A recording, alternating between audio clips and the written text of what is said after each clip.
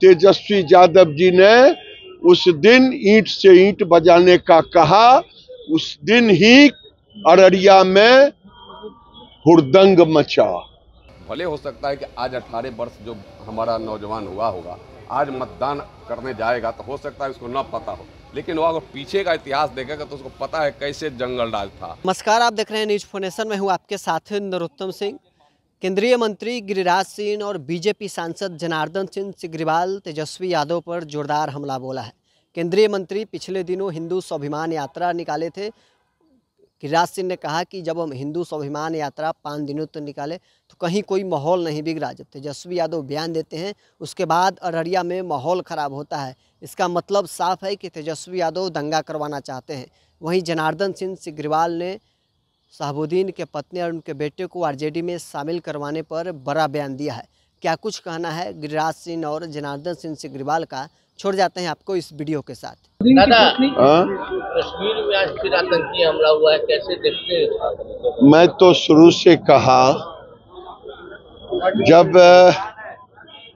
रोपे बबुल तो आम कहाँ से हो जो लोग राहुल गांधी उनके साथ खड़े हुए, फारूक अब्दुल्ला जी के साथ, जो कहते थे पाकिस्तान की बात करते थे। जो पाकिस्तान की बात करेंगे, जो पत्थर फेंकने वाली की बात करेंगे, राहुल गांधी वहाँ खड़े रहेंगे तो उसका अंजाम भी वही मिलेगा। ये अब जवाब देना है, राहुल गांधी को जवाब देना है। कि ये क्यों हो रहा है? इसके पहले जब एलजी का जमाना था तो क्यों नहीं इस ढंग का हो रहा था? ये सोचने की और समझने की प्रियंका गांधी को उत्तर प्रदेश में जंगल दिखाई देता है। प्रियंका गांधी को उत्तर प्रदेश में जंगल दिखाई दे रहा है। प्रियंका गांधी हो या राहुल गांधी हो उन्हें न हिंदू दिखाई देता अन्य अपने राज्यों में कश्मीर में हिमाचल में उनको कुछ और दिखाई अपने पुराने सांसदों के साथ शामिल कर लिया है हो बिहार की जनता को अच्छा संदेश दिया है लालू जी ने कि मैं सारे 2006 के पहले का सारा चीज़ व्यवस्थित कर रहा हूँ। तुम लोग मेरे साथ खड़े हो जाओ। दीपावली और छठ की छुट्टी को लेकर सवाल उठाए जा रहे हैं। शिक्षक मांग कर रहे हैं और भी छुट्टी मिलनी चाहिए। कैसे देख रहे हैं क्या कहेंगे? निश्चित रूप से दीपावली और छठ हिंदुओं का सबसे बड़ा त्यौहार है।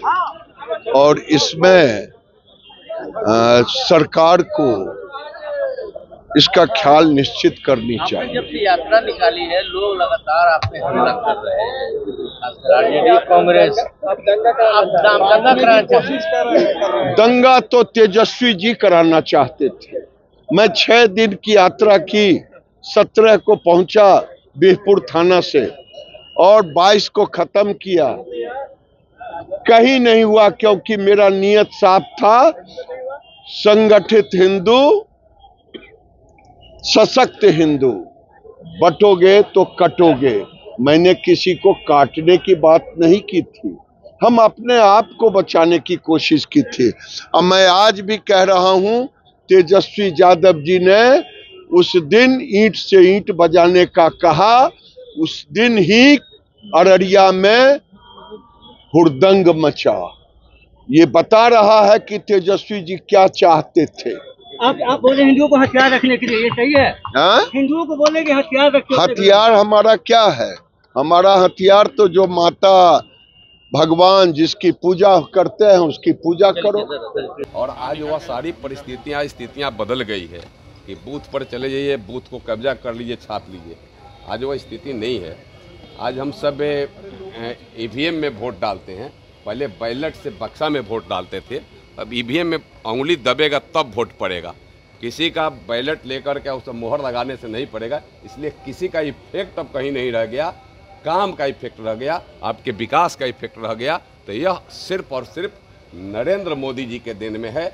हमारे यहाँ के एनडीए के बिहार के नेता यहाँ के मुख्यमंत्री नीतीश कुमार जी और पूरे भाजपा और हमारे एनडीए के गठबंधन के ऊपर। है बिहार में भी होने जा रहा है। चार के चार सीट जीतेंगे।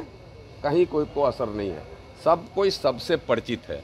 अगर हम जंगल राज की बात भले हो सकता है कि आज 18 वर्ष जो हमारा नौजवान हुआ होगा, आज मतदान करने जाएगा तो हो सकता है उसको न पता हो। लेकिन वो अगर पीछे का इतिहास देखेगा तो उसको पता है कैसे जंगल राज था, कैसे हम घर से नहीं निकल पाते थे, कैसे दिन दहाड़े चौक चौराहे से शहरों से भी अपहरण हो जाता था, अपहरण का धंधा चलता था, सबको पता है। इसलिए उनको पता हो जाएगा, इसमें कहीं कोई दिक्कत नहीं है।